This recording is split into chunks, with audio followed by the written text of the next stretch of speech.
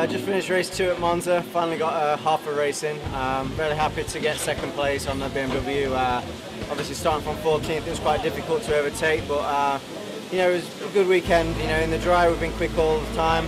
Made a problem in the Super Pole, but you know we made amends in the race, so you know pretty happy and thanks to all the guys at BMW.